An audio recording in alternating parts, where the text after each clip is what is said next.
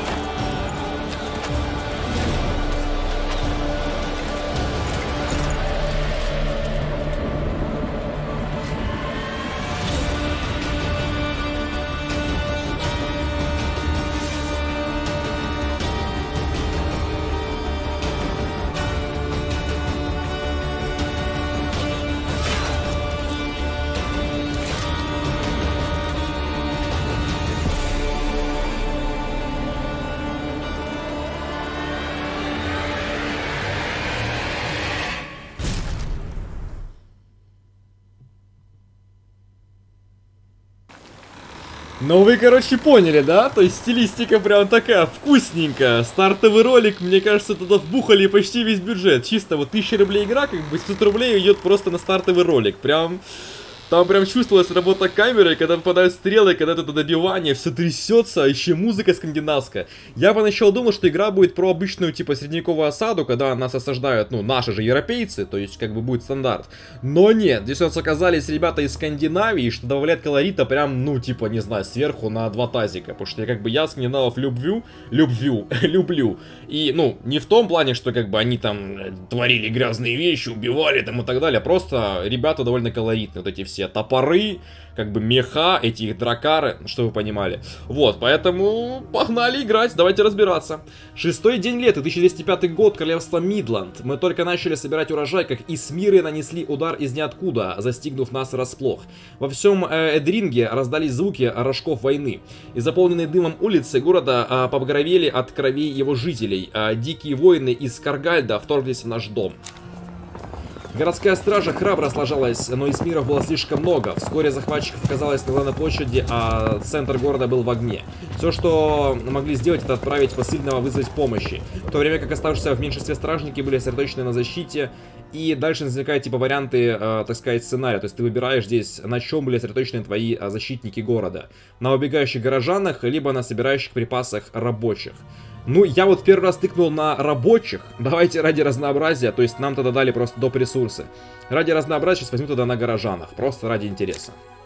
В результате самоотверженной жертвы стражники отдали свои жизни, чтобы помочь жителям города. Вскоре выжившие нашли укрытие в холодных э, стенах замках, безопасное на момент место.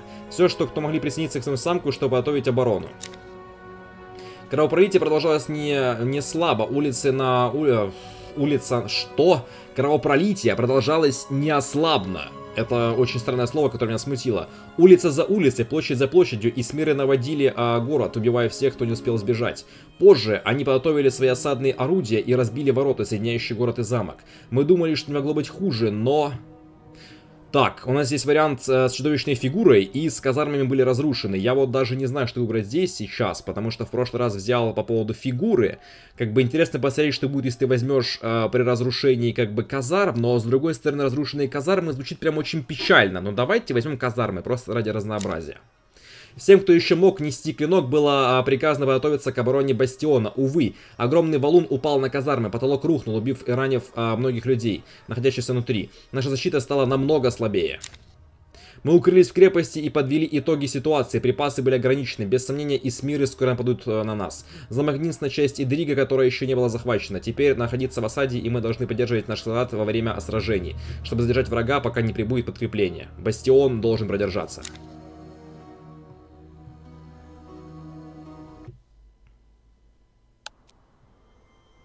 Так, добро пожаловать в Siege Survival Glory Victis. Ну, я здесь уже, ребята, профессионал, поэтому сейчас буду вам рассказывать, когда все играется, первые пять минут. Как бы тут я уже шарю.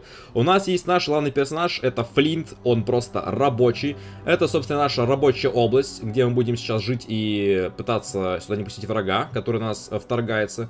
У нас за пределами этого замка огромный городище, просто гигантский. Потом картой мы это посмотрим, а мы еще по нему не походим. У нас есть хрюшки, куры и, собственно, сюжетные квесты. Поговорить с человеком у стен. Так, ну, поехали с ним поговорим. Мужчина перед вами а, Бертрам, местный плотник. Отрадно видеть, что он выжил, но события последнего дня оставили на нем след. Он просто сидит здесь, дрожит и прижимает руку к груди, даже не сознавая вашего присутствия. Осмотреть его. Вы ищете Килли Бараны, но вдруг замечаете, что он держит в руке. Это маленькая сожженная кукла. Проясняется, что этот человек только что потерял всю свою семью.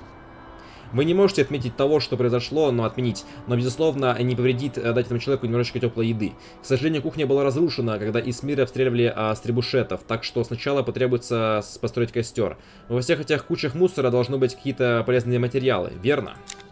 Так, ну здесь начинается наша экономика, ребят. Мы сейчас собираем ресурсики, строим здания. Здесь прям, ну, здесь War of Mine, конечно, но тут прям, мне кажется, куда более глобальный, потому что там как-то все это было сбоку и не так сильно смотрелось. Здесь, конечно, там, ну, тут прям застраивая свою позицию, свою эту вот зону жилую, ты прям ощущаешь какое-то, ну, развитие а город, то есть все-таки это ближе к стратегии.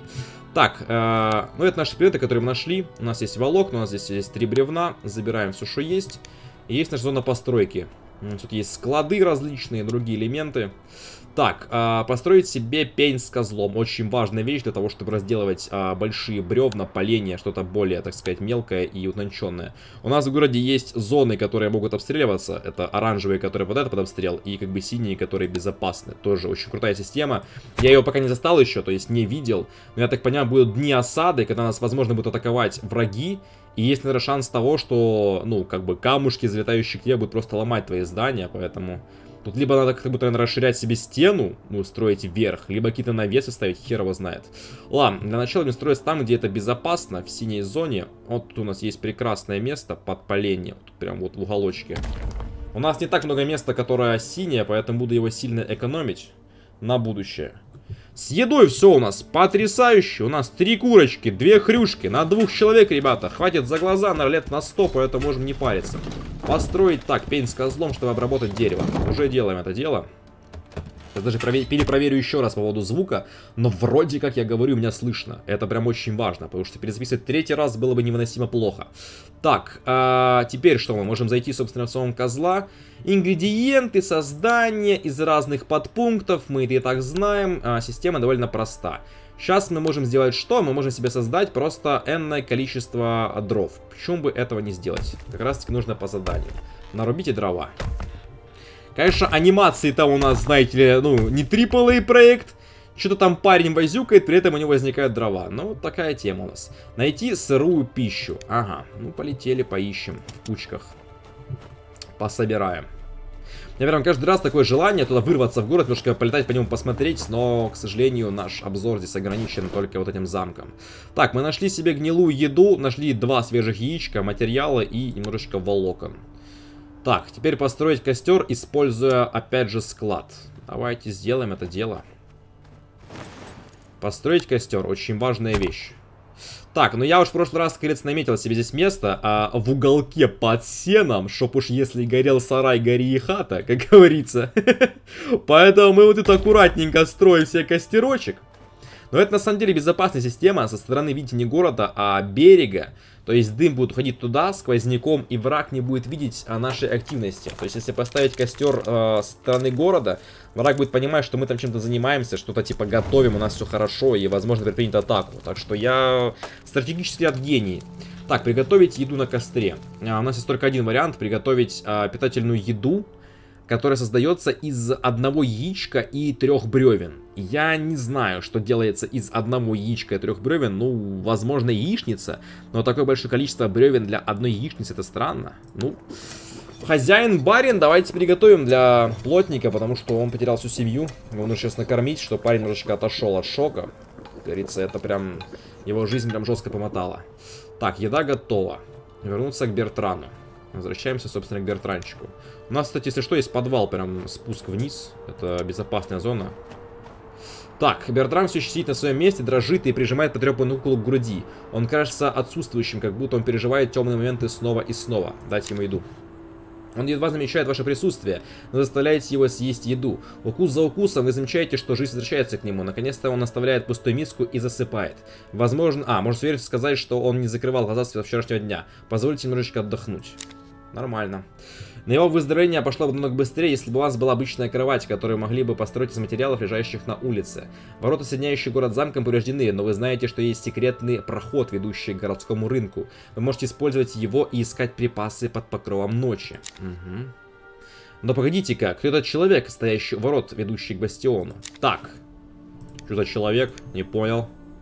А какого хрена к нам просто человек зашел? У нас как бы ворота закрытые были, алло. Это замок или проходной двор? Что происходит? Нормально, блин, здесь. Вроде как все мосты разрушены. Это, кстати говоря, вторая полоса защиты этого замка. И к нам просто шел какой-то челик. Не, конечно, все понятно. Возможно, он знает какие-то пароли явки, но это странно. Взял просто и зашел. Солдат, стоящий перед вами, весь в крови, его глаза потускнели от усталости. Туника на его доспехах разорвана в клочья. Только когда он заговорил, вы узнаете Гальвика, племянника а, Бертрама и друга детства Флинта. Он счастлив видеть вас живым, но даже сквозь маску из крови и грязи видите, как лицо Гальвика бледнеет, когда он узнает о семье Бертрама. Он ошеломлен потерей тети и сестер, и еще один удар а, падает на уже изможденного человека. Но нет времени отчаиваться. Исмиры скоро нападут, говорит он. Мы должны пополнить припасы, прежде чем это произойдет. Затем он раскрывает, что группа солдат тоже обыскивает город, и они все еще не вернулись, потому ему нужна ваша помощь. Что тебе нужно? Нам нужны стрелы, говорит он, много стрел. Конечно, их создание с нуля уйдут дни, но как насчет мастерской лучника в городе? Это наш шанс. Поторопись, говорит Гальвик, э, все наши жизни зависят от тебя. Он возвращается в бастион. Уйти, конец. Так, ну вот здесь я уже не был. А, настала ночь, вылазки какие-то. Сейчас будем разбираться по поводу этих вылазок. Надеюсь, там не будет прям какого-то душнилого у нас. Мародерство, 9 слотов, я так понимаю, нашего персонажа. Поехали наружу. Вот, кстати, этот городок. Просто, ну, чтобы вы понимали, город, блин, на острове был или на полуострове. Как нас захватили, непонятно. Походу, врагов было слишком много. Прям, а нас слишком мало. То есть здесь, как говорится, на острове и лесополоса своя, и храм про отца, и пригород, и чипсайт, и гавань, и рынок, ремесленный район, золотой уголок, сам замок, верхний город и, собственно, остров Смольщиков. Короче, точек до херища. Выбираем точку и, собственно, идем в нее. Понятно. В правом верхнем углу рюкзак персонажа. Тоже понятно. Так, чему сейчас мы можем здесь себе поставить? Э, заблокированный проход. А, у нас только один проход сейчас сюда. В централку, в золотой уголочек. Так, и есть элементы, которые мы сейчас можем с собой брать. У нас 9 слотов у нашего персонажа. Факел, источник света или инструмент, позволяющий сжигать гниющие трупы. Угу. Нужно ли нам брать с собой факел для того, чтобы сжигать гниющие трупы? Это хороший вопрос. Давайте, наверное, возьмем. Я не знаю, нужно или нет, но возьму на всякий случай. Вдруг пригодится. Хер его знает. Хотя это минус слот на шмотки. Вдруг пригодится. А вдруг нет. А вдруг да. А вдруг нет. Вот хер его знает. Ладно, думаю пригодится, поэтому поехали. Так, а теперь на что? Обучение мародерства. Вышли на разрабленные улицы города под замком. Вы можете бежать, давать шелков мыши, но тут все понятно, при этом передвигаться будете громче. Так, ну это понятно. Рынок, а, вы входите в зону. А, так, найти стрелы, найти ткань, волокна, дерево для постройки кровати. Понятно. И у нас тут, так понимаю, время не бесконечное. Справа есть часики, которые стремительно идут вниз. То есть, как бы, скоро будет день, а мы ни хера еще не нашли. Я, наверное, пока побегаю. Нам сказали, что врагов в округе сейчас, как говорится, еще нету. Но вроде как сейчас их еще нету. Они будут немножко, так сказать, позже. То есть, они сделали налет и сейчас отступили обратно себе на дракарчики. Поэтому пошли пособираем ресурс сейчас про запас. Трава какая-то, вороны летают. И, собственно говоря, какой-то индикатор для того, что что-то можно сделать в этом месте. Я пока жадно буду собирать ресурсы, это важнее всего. Там какие-то, не знаю, безделушки непонятные находятся. Здесь у нас что? Судя по значку, наверное, какие-то лекарства выросли. Подорожник. Овощи остаются свежими, пока их не соберут с земли. А! Забираем. Так, тут у нас что? Именно здесь раньше находились врата Верхний город, самому богатому району города. Находились, потому что ворота, пораженные снарядом требушета, рассыпались на щебень. Вне всяких сомнений, на другой стороне а было бы что собрать, но можно ли этот путь расчистить? А хер его знает. Увы, обломками зажаты и заблокированы несколько обрушившихся потолочных балок. Их заклинило таким образом, что их можно переместить только с другой стороны ворот. Похоже, чудеса знаменитого Верхнего города останутся для вас недоступными. Ага. Ну, точнее, я бы сказал, мы их потом, наверное, будем осматривать. Когда сможем обойти с другой стороны, получим какой-то себе топор. Ну, то есть карта многоразовая, что, в принципе, стандартно для таких игр. Вы нашли мастерскую лучника. А, так мы это искали. Тут она под носом была. Излишне говорить, что Исмиры здесь были, а здание было сожжено и разграблено. Его владелец висит на ближайшем дереве, а из его тела торчит дюжина стрел. А когда вы смотрите на развалины, леденящий ветер напоминает вам, зачем вы здесь. Найти стрелы для солдат. Есть только один способ узнать. Зайти внутрь, логично. Вы бродите по разрушенной мастерской в поисках драгоценных стрел, а среди груды сломанных деталей и сгоревшей мебели. Время идет, но вы не можете их найти. Как только собираетесь сдаться, вы начинаете вспышку в темноте. Под сломанной балкой крыши, может быть, это исследовать. Да, стрелы для защитников бастиона. Вы пытаетесь вытащить их, но они, кажется, застряли под сломанной балкой. Вы тянете и тянете их, пока они все не станут ваши. Внезапно смещенная балка обрушивается на вас э, всем своим весом. Боль пронзает ваше тело. На то, чтобы освободиться, у вас уйдет много времени времени. Покидая мастерскую, замечаете, что-то изменилось. Труп лучника уже не висит, старуха склоняется над телом в тени дерева. Она рыдает, измученная, и вы предлагаете, что... Это предполагаете, что это его мать. Она рискнула своей жизнью, чтобы э, снять сына и похоронить его в неглубокой могилке. Женщина пытается сдвинуть его, но она ранит себя топором под своим поясом. Так, помочь ей похоронить труп, либо взять топор и уйти. М-м-м.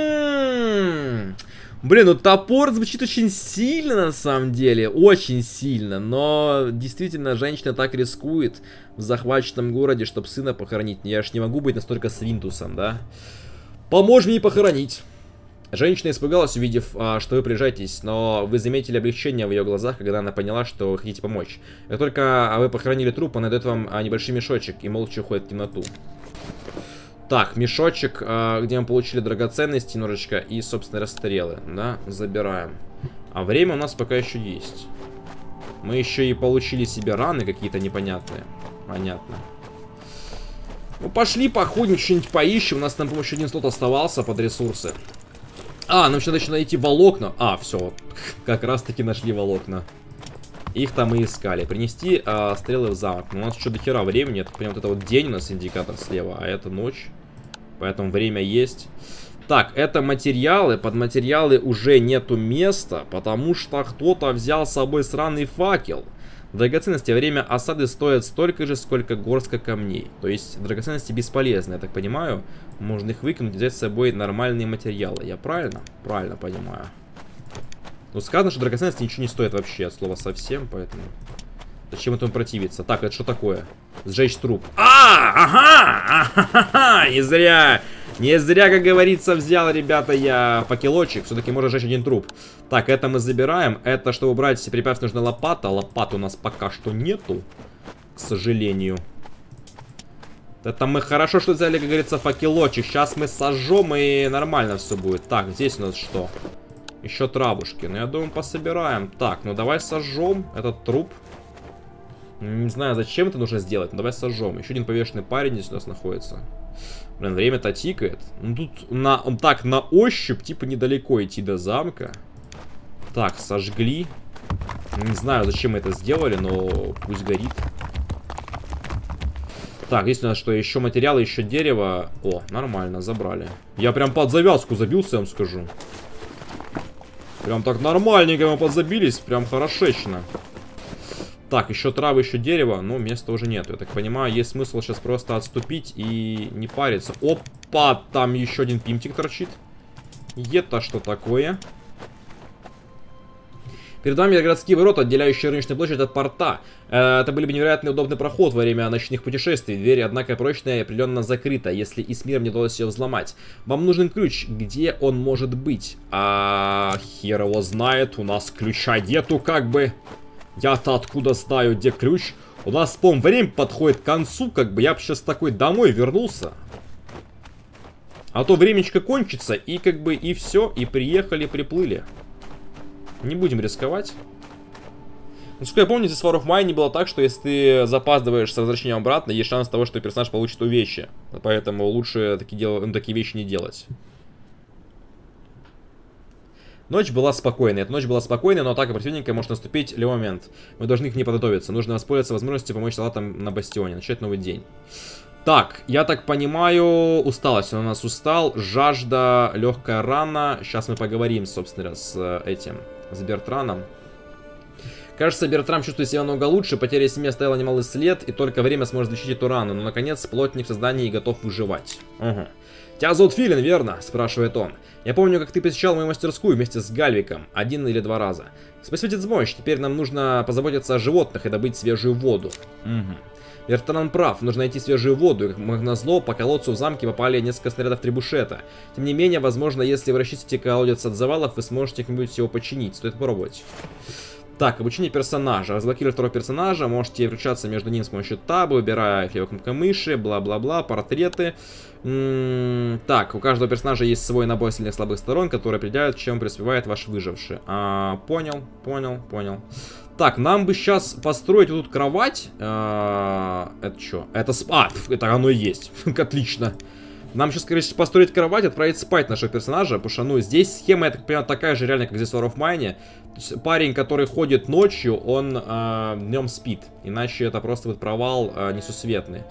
Так, э, можете построить кровати, нужна ткань, дерево, понял. Если будут не высыпаться, возможно, заболеют. Э, смертельно ранен, ну это все понятно. Так, построить одну кровать.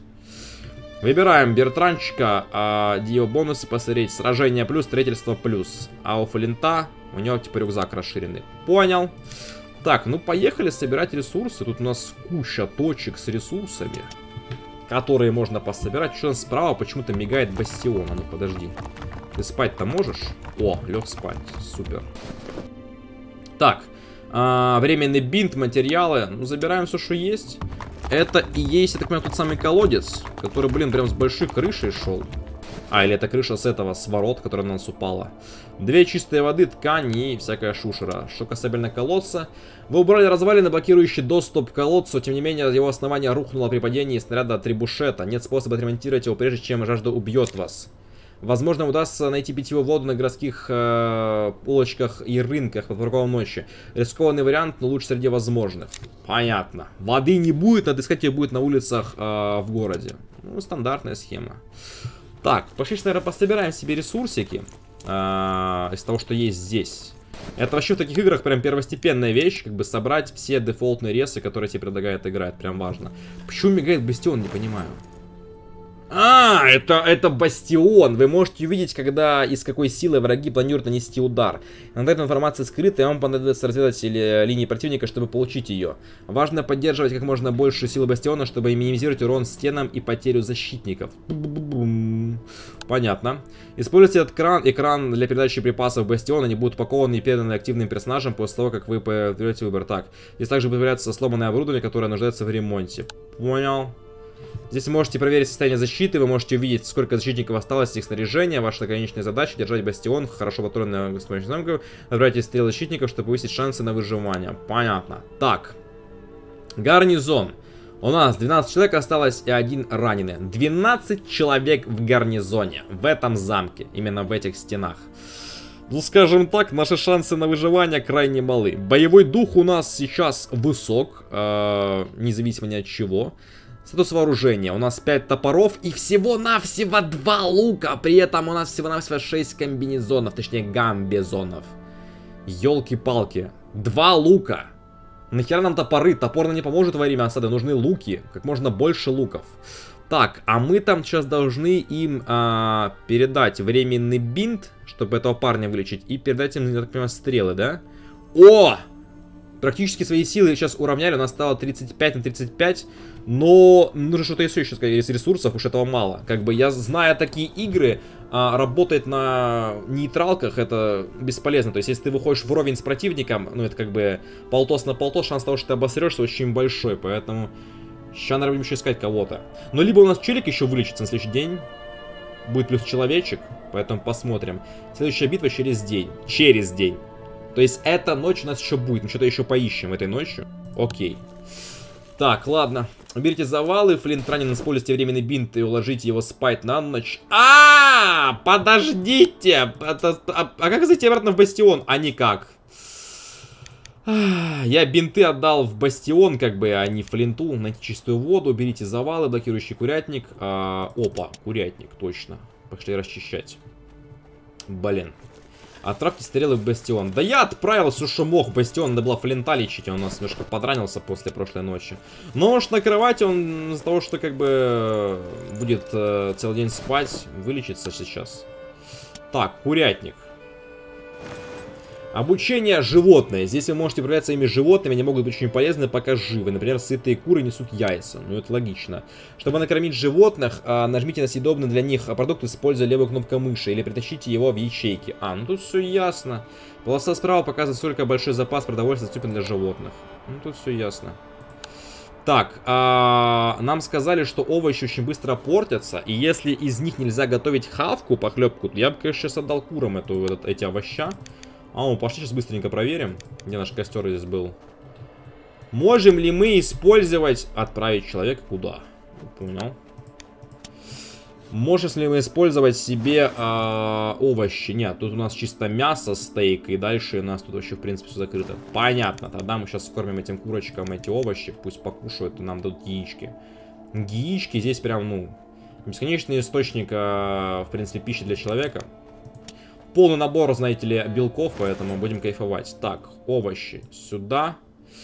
А гнилая еда испорченная, блин, для курей, наверное, не очень хорошо, но, блин, мы точно жрать это не будем, поэтому отдадим сюда тоже.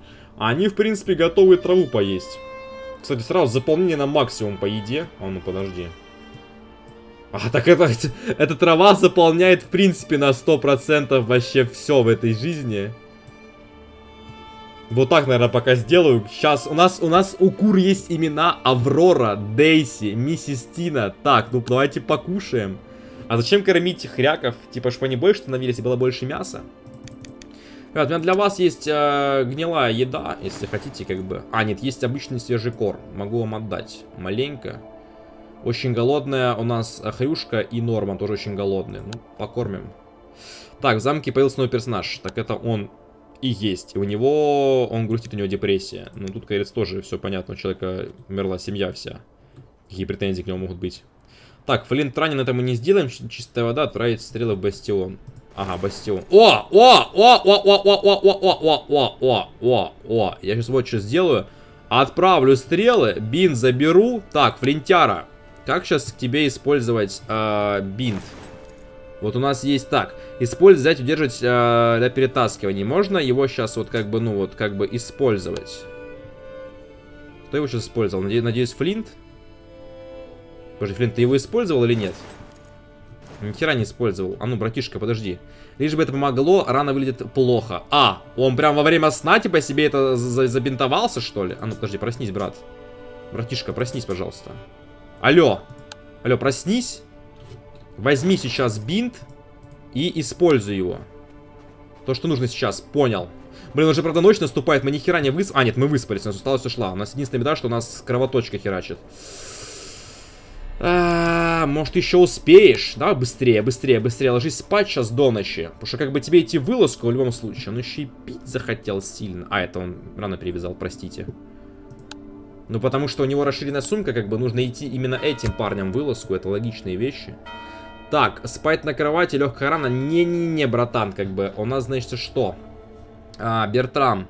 Спать на зим... Нет, у нас, значит, мародерство в городе. А здесь у нас, а, получается... А, он тоже может мародерствовать в городе. Нет, только один парень может мародерствовать в городе. Тогда будет спать. Тогда Бертрам просто поспит. Все, нормально? Нормально, поехали. Так, это наша вылазка, нам брать нечего. Кстати, а факел-то одноразовый был, я тут там что-то сжег, и как бы все. Травяные лекарства, удобрения. Дальше ни хера. Понятно, поехали. Так, в этом же месте рынок. А, с правой стороны там до хера было ресов у нас. Прям до хренища тут было с правой стороны. Возле большого красного здания. Нам нужно идти сейчас что? Чистую воду 10 штук и ищите все, что поможет солдатам. Типа вообще все, что поможет, все ищите. Так, 5 воды с лету есть.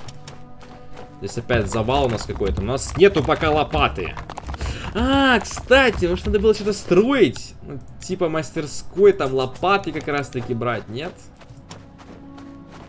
Хотя мне писали, что лучше не ошибаться в этой игре в прологе и не делать лишних вещей, которые не требует от тебя игра, иначе ты потом рез хер найдешь для строительства нужных э, по квесту вещей. Так что, если не было задания сейчас э, делать мастерскую под лопаты, лучше, наверное, не делать. Так, ну, дерево, какие-то металлы находим. О, у нас здесь рез обновились. А, так вот, что-то штука давала. Мы сожгли проход на лестнице, теперь мы можем сюда подняться. До этого у нас труп лежал, вонючий. Все, вот он еще. Не зря, получается, сжигали. Так, что у нас здесь? А, немножко дерева, какой-то ткани. Я думал, здесь что-то поважнее будет. Какой-то стол на висельнице с бумагой. Ну, ну что-то более ценное. Порванный гамбизон. Можно починить в мастерской. Опа! И кусок мяса. Вот это я понимаю. Вот этого. Кстати, вот эта штука почему-то мигает. Нам игра подсказывает, что ли, или что? Типа, посмотри здесь. Это важно. М -м -м М-м, инструмент, используемый для расчистки больших груд мусора в городе, изготавливается в верстаке. Так, нету места под лопату драгоценности, нахрен. Берем лопаточку. О! Пошел, пошел, пошел, контент. Так, под траву тоже нету места. Может быть, бревна скинуть. За это просто трава как бы для курей очень заходит. Я вам скажу. Дерево у нас так и так было. Завал был справа один, да, блин, из... О, три воды, но это грязная вода. Может, не брать ее, пойти поискать чистую. Немножечко, так сказать, сейчас за ЧСВ, что пойду поищу чистую воду. Какая-то вот бочка стоит, мне должно быть что-то интересное. У нас с правой стороны, с левой стороны были завалы. Просто интересно, лопата одноразовая или нет? Вот в чем вопрос. Оп, 7 воды чистые. Ну, все, сделали задание. Как раз таки, возможно, гамбизон для того и был нужен, чтобы усилить э, обороноспособность наших э, пацанов на крепости. Так, ну еще время до окончания ночи у нас тоже есть. Самый важный вопрос, одноразовая или лопата. Если одноразовая, блин, это будет печально, как бы, ну. Так, обучение вражеских патрулей. Вражеские стражи патрулируют город ночью. Избегайте их внимания, чтобы оставаться незамеченным. Если вы э, задержитесь в их поле зрения или будете шуметь рядом с ними, они вас заподозрят. А что, нас здесь кто-то заметил или что? А, это уже переход в опасную зону. А -а -а.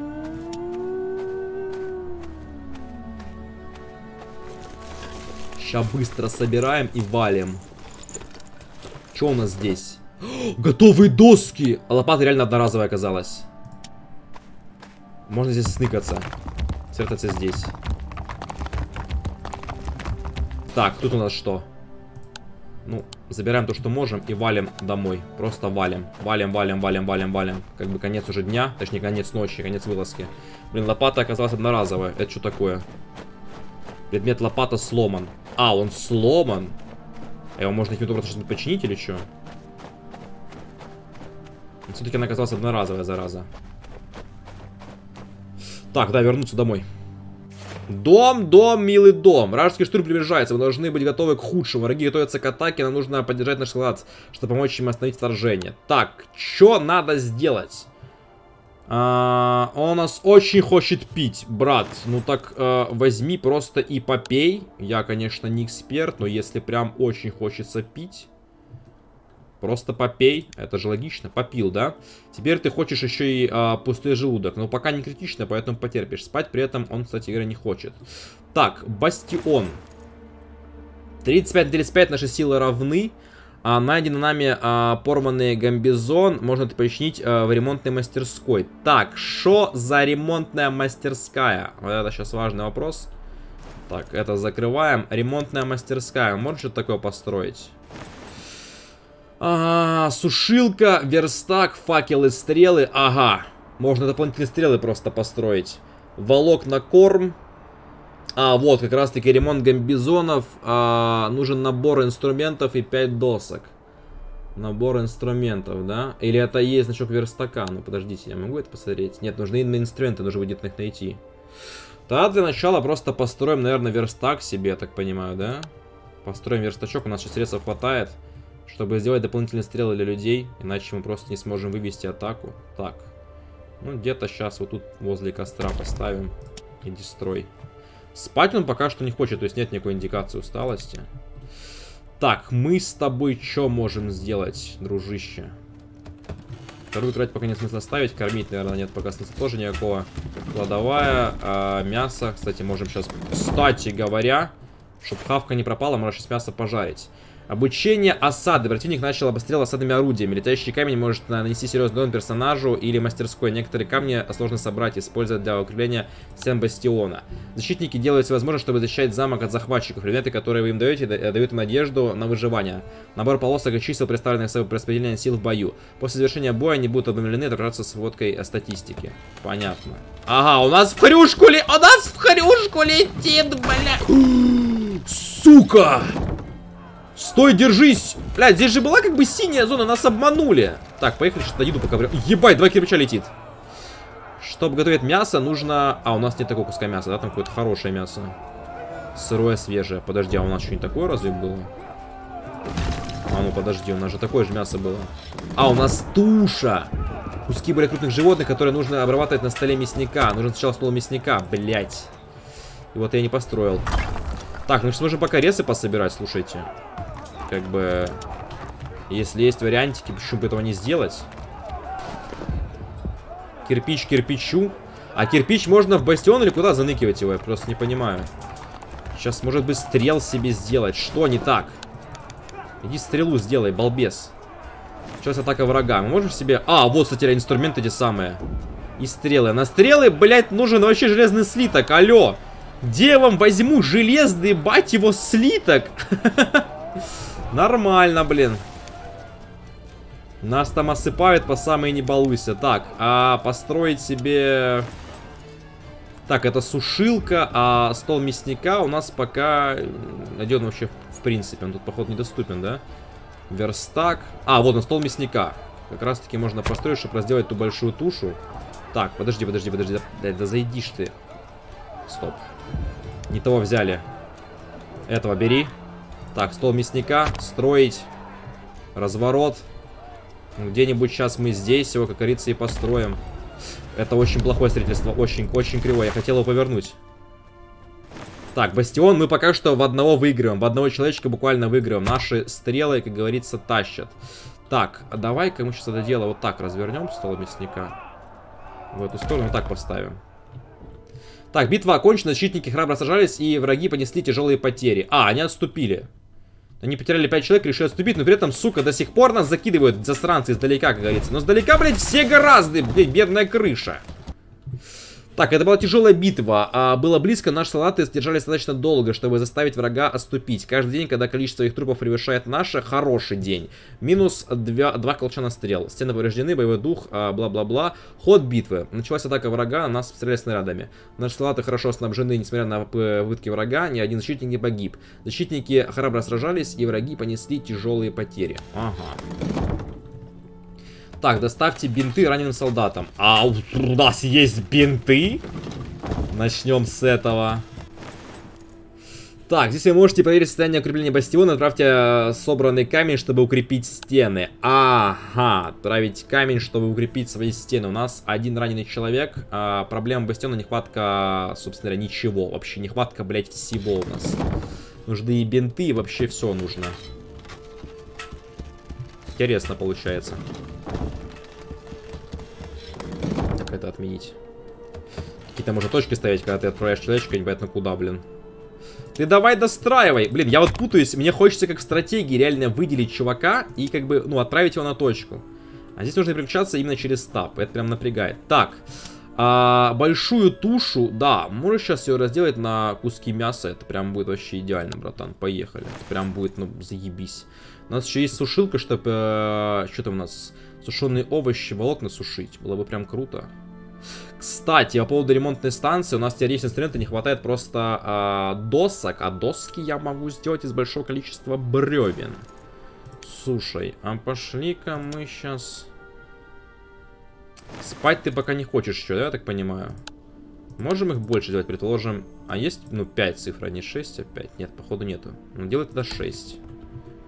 А ты пойди пока разделай мясо. Так получилось, что у нас оба человека работали этим днем. Никто не спал. Ну, хотя во время осады хер поспишь. Будем честны, как говорится. Бинтов пока что нету, будем искать. Нужно будет найти ключ на вылазке, а, чтобы открыть проход а, к той зоне. И будем искать бинты, либо ткань, чтобы делать, собственно говоря, эти бинты.